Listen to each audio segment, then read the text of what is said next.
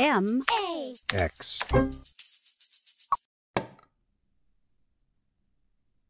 Hi everyone, I just wanted to make a quick follow-up video to my earlier video about the Kodak Advantix film drive scanner. Some lovely people in the comments were able to give me a copy of the Windows 98 drivers, which include a batch scan functionality. So those drivers that I showed in the earlier video were very limited because the scanner is really slow and they would only let you scan one photo at a time, so it made it sort of practically impossible to actually scan film in any volume. But fortunately for the Windows 98 version, they created a dedicated little piece of software for doing batch scanning. And so what I want to do now is just run it and see how it goes. I can already see just looking at this that the user interface here is just so much more straightforward, which is really appreciated because although there was a certain kind of like, um, you know, turn of the century beauty to the old user interface, it was it was a little bit difficult to navigate. I'm not going to lie. So this is nice. It's just one screen from the looks of it. Um, so I have already put a film in the scanner. So.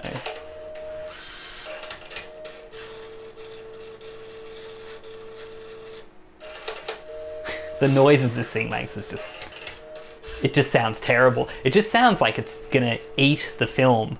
And then, you know, from my experience in the first video, like, you know, scanning a roll of film or a couple of photos, it just sounds like, all right, I'm shredding your film, I'm shredding your film, I'm shredding your film, but then it comes out, it's a really good quality scan. So, uh, if whatever works, I suppose. Okay, cool. So I can see here that it's just letting me pick which pictures I want to save. So maybe just start off with, I'll just do a test scan and and just scan a couple of them. I'll, I'll just see if there's any. Okay, so if you click preferences or click help, it does nothing. So I'll select those. I would like to say hi. I want to save them in, I mean that's fine, my pictures in folder based on cassette ID. So yep. Oh, this is really useful. You can see they really took the feedback from the first version and just made a piece of software that just does the job rather than all that other stuff that was just wasn't necessary.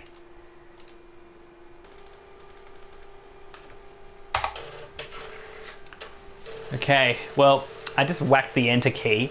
Very weird button issue there. I don't know what that was at all. So, oh, that's cool to see. It seems to make the index print relatively quickly. Um, so maybe I, I should have just gone with an index print there. We'll see what happens. Well, I say relatively quickly. Of course, I mean very slowly.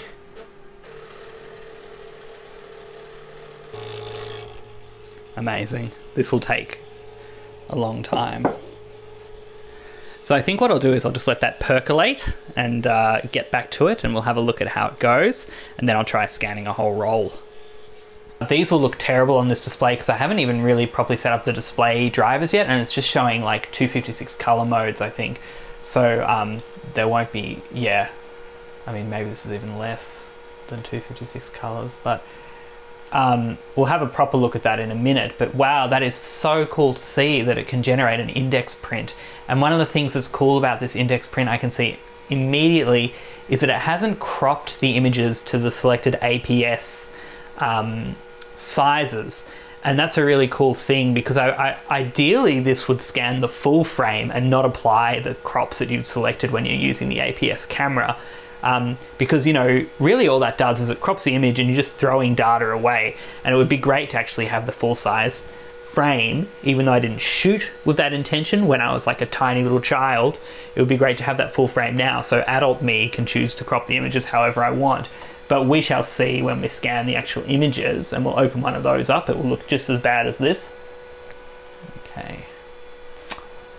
Ah very cool. It's it's quite beautiful in fact with this limited color presentation. It's really quite abstract. It looks almost like a tapestry or something like that. And I didn't know that um, my camera made tapestries when I was a kid, but in a way that's kind of better than what I thought it was doing. I thought it was just taking photos, but uh, no, this is cool. Let's have a look at them on a uh, real computer. They look really good you can see that the index print is very low resolution, but that makes a lot of sense because obviously what you want is you want to get a very quick scan to see everything that's on the roll, have a look at that, and then pick the pictures that you want to scan in the highest possible quality. So that's really good. I'm really happy with that. And you can see that the actual individual pictures themselves, they look great, just as they did when I scanned in my other video. Um, obviously, they're a little bit green here, but a, a, little, a really quick kind of color correction. I just eyeballed this one up. Shows that they, they come up really, really well. You know, one thing that I noticed about this scanner, and I really forgot to mention in my previous video, is how little dust there is on the negatives. It's really fantastic. You know, if, if you, you're used to scanning film, you know that dust is a very real problem. It's everywhere um, you have to blow it off the negatives before you scan the negatives, and then you have to spend a significant amount of time spotting the images after you've scanned them to kind of deal with dust. But because APS film, the only time it comes out of the canister is for a print and then it's rolled immediately back into the canister for storage, it means that there's no real dust on these negatives, which is just amazing. Obviously, there's a lot of things about the APS format that are super questionable, uh, in particular the actual image quality itself.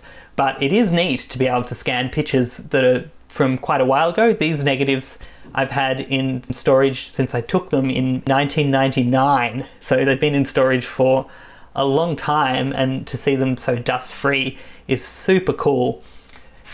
The other thing I can see um, with these images that I've got here is that it has scanned the full film frame. It hasn't cropped them to the APS kind of setting that I took the photos at.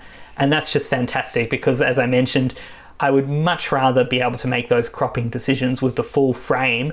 And, and one of the things that the older version of the software did is you had to laboriously click and select the whole frame for every single frame if you wanted to, to scan it. So this is a fantastic update. And now I think I'll probably get back and, and scan a whole roll and, and see how that goes.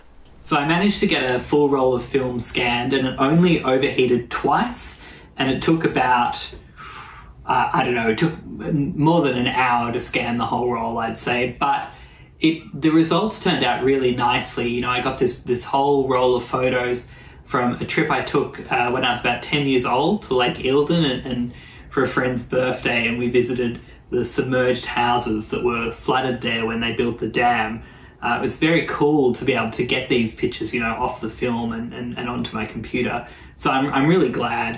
Uh, I want to say a big thanks to Paul and Mats who provided the version 2 drivers in the comments of my previous video. If you haven't had a chance to watch that video, check it out. I'll put a link in the description.